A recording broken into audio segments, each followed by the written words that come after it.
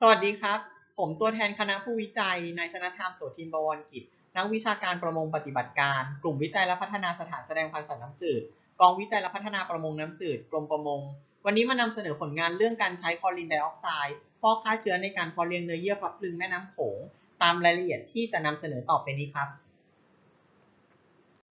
พลับพลึงแม่น้ำโขง มีชื่อวิทยาศาสตร์ว่าไคลนัมวิวิพาลัมและมีชื่อสามัญภาษาอังกฤษว่า River Crinum lily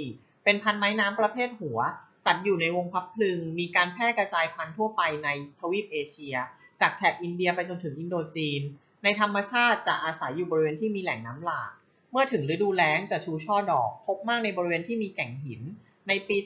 2013 IUCN จัดให้พับพลึงแม่น้ำโขง ได้ขึ้นบัญชี IUCN Red List แต่ยังจัดเป็นสิ่งมีชีวิตที่มีความเสี่ยงต่ำต่อการสูญพันธุ์ เนื่องจากพบได้ทั่วไปในภูมิภาคเอเชีย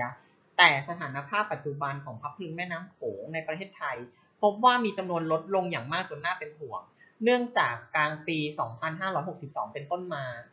ระดับน้ำในแม่น้ำโขงมีการเปลี่ยนแปลงไปจากเดิม จนส่งผลกระทบอย่างรุนแรง เนื่องจากสาเหตุสำคัญหลายประการอาทิ การพัฒนาโครงการสร้างเขื่อนไฟฟ้าพลังน้ำการเปิดทางเดินเรือขนส่งสินค้า ซึ่งการเปิดปิดเขื่อน ส่งผลต่อการเปลี่ยนแปลงการไหลของมวลน้ำทั้งปริมาณ ความรุนแรง และคุณภาพน้ำรวมถึงการเปลี่ยนแปลงของสภาพภูมิอากาศ ที่ส่งผลต่อปริมาณน้ำฝนในรอบปีทำให้พัดพลึงแม่น้ำโขงแห้งตาย เริ่มหายากและเสี่ยงต่อการสูญพันธุ์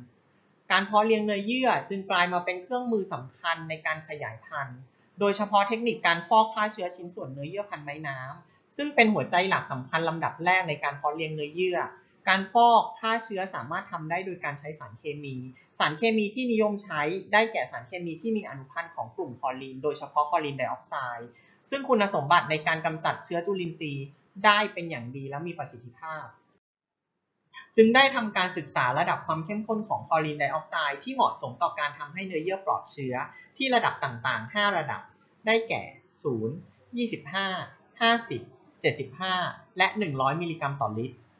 พลับพลึงแม่น้ำโขงที่ใช้ในการทดลองครั้งนี้ รวบรวมมาจากอำเภอปากชมจังหวัดเลย และอำเภอสังคมจังหวัดหนองคาย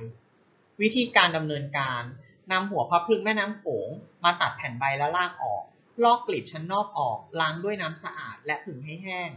จากนั้นนำไปฟอกฆ่าเชื้อด้วยคลอรีนไดออกไซด์ที่ระดับความเข้มข้นต่างๆ เป็นระยะเวลา 20 นาที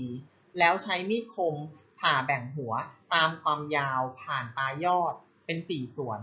แล้วนำมาเลี้ยงในอาหารสูตร MS บันทึกอัตราการปนเปื้อน อัตราการตาย และอัตราการรอด รวมทั้งการเจริญเติบโต ได้แก่จำนวนต้นและจำนวนใบ เป็นระยะเวลา 5 สัปดาห์ พร้อมบันทึกภาพการเปลี่ยนแปลงของเนื้อเยื่อ จากการทดลองพบว่าคลอรีนไดออกไซด์ที่ระดับความเข้มข้น 75 มิลลิกรัมต่อลิตร เป็นความเข้มข้นที่เหมาะสมที่สุดในการฟอกฆ่าเชื้อเนื้อเยื่อพับพลึงแม่น้ำโขง โดยพบการปนเปื้อนเชื้อจุลินทรีย์เพียง